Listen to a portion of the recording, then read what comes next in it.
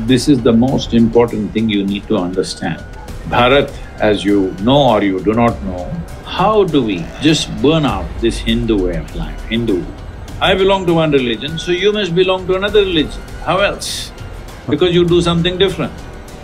So you will see phenomenal temples here, you don't see that in the north because they were all largely destroyed. It has not been written enough in the history books. Invasion that happened, everything is completely wiped out. Yes. Uh, India also faced, uh, you know, invasions and colonization, but here it's still alive. Uh, more actively, it's still alive.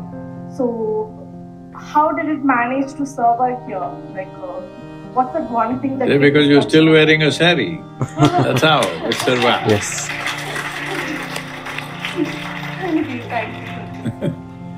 What's the thing that kept this culture alive for Mhm. thousands of years? Thank you, thank you, sir. See, uh, innovation is just a simple word. But when you experience it, the brutality of it is another thing. yes. What happens in those times are unspeakable stuff, Yes, really. especially to women. Men get killed, they're fortunate in many ways. They get tortured sometimes. That's a little unfortunate. But generally, women get to live and they'll be tortured for the rest of their life, usually. So, invasion is not just a simple word. Yes. There are two ways of taking people and property on the world itself. One is by invasion, another is by inclusion. Exactly. If you take something by inclusion, it becomes beautiful, isn't it? If you take something by invasion, it is the ugliest, unspeakable thing that you can think of.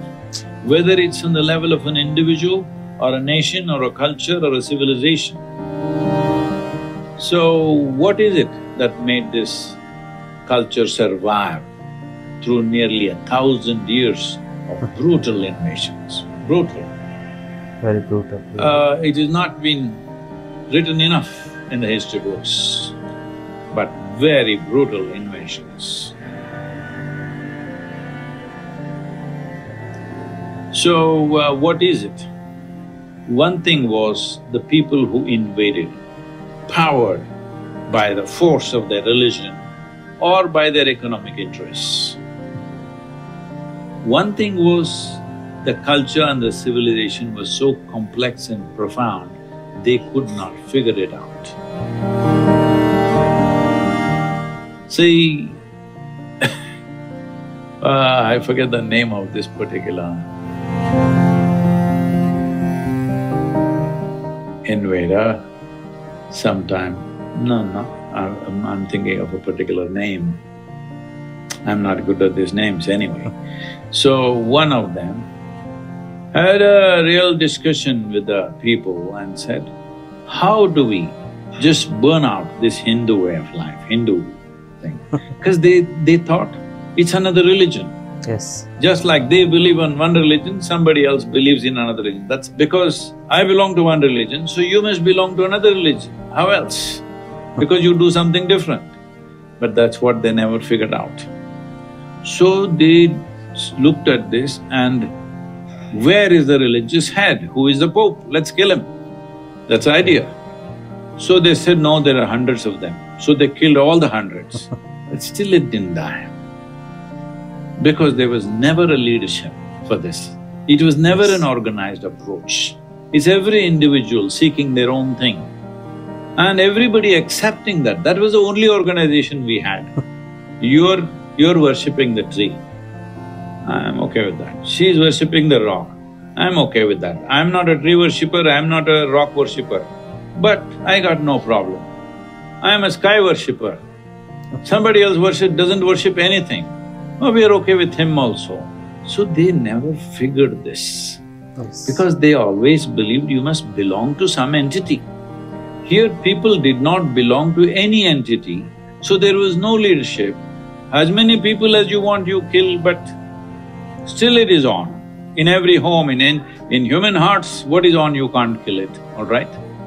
It did not need leadership, it did not need a book, it did not need an ideology, it did not need a god. That's the most important thing. So they went about demolishing temples systematically all across northern India. Southern India, you come and see glorious temples are still here because they didn't come this far down. So you will see phenomenal temples here, you don't see that in the north because they were all largely destroyed.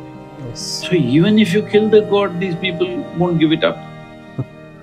You destroy the temple, they got their own little god in their home, they will worship there only. You destroy their home, they're carrying it on their body and they'll worship here only, Atmalinga they got. Yes. What do you do with this people?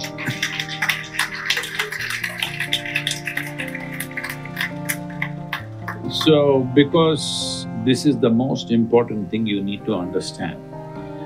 India is…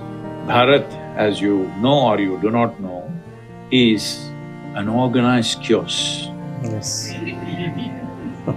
People don't understand this. So if you look at India, it looks like it's going nowhere. Because we are not like an arrow. Hmm. Arrows will fly for some time and go down. We are like a swarm of bees. Every bee seems to be going in a different direction, but in the end, all of them go in the same direction. Yes. It's happening very effectively. Namaskaram. The resilience of Indian culture is attributed to the people's strong attachment to their traditions, symbolized by the continued use of traditions attire like the sari. Invasion is not just a word, but a brutal experience, especially for women who often face unspeakable atrocities and torture. The survival of Indian culture of thousands of years is a testament to the resilience and perseverance of its people in the face of adversity. Today, we are delving into a pivotal era in Indian history the impact of Muslim rule. Let's explore the timeline of events that shaped India during this period. Early Muslim incursions 715 CE to 1020 CE. India's sovereignty faced its first challenge with Muslim invasions starting in Sindh. In 715 CE, the Arabs' limited success in the kingdom of Raja Dahir was met with resistance from rulers like Raja Bhoja and the Gujarat kings, maintaining sovereignty for nearly 300 years. The era highlights not just a clash of civilization, but also the resilience of local powers in defending their territories. Establishment of Muslim rule 1020 CE to 1328 CE.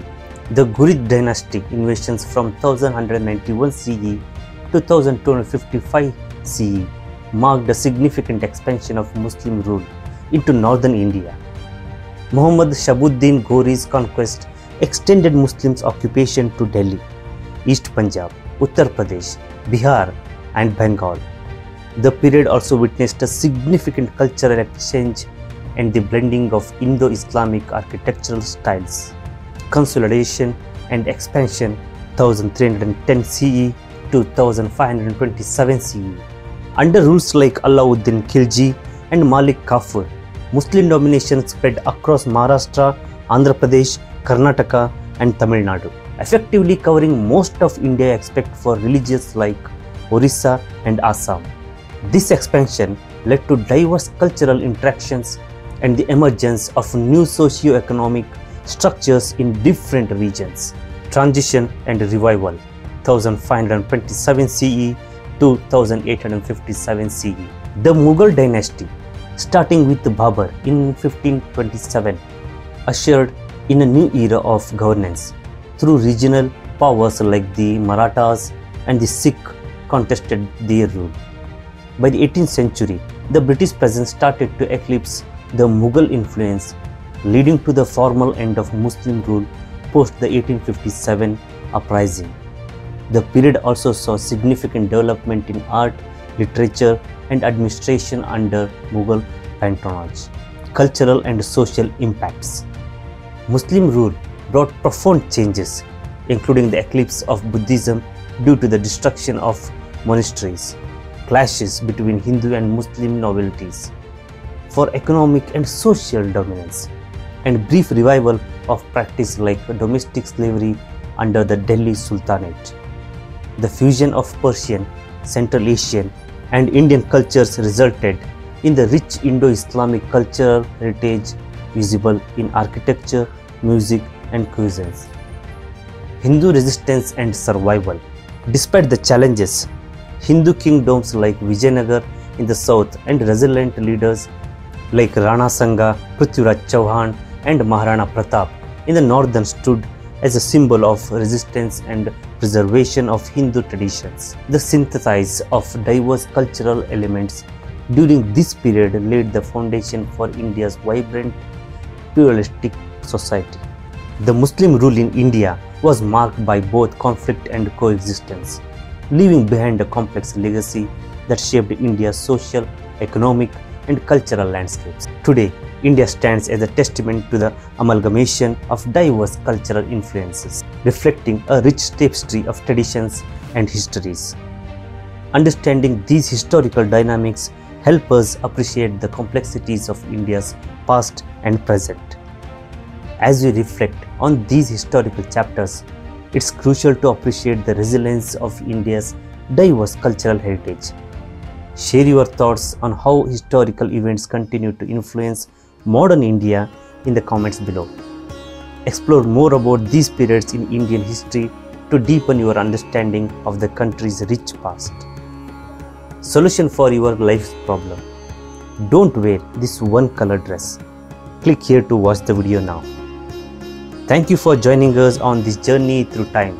Don't forget to like, share and subscribe for more historical insights. Thanks for watching. Pranam.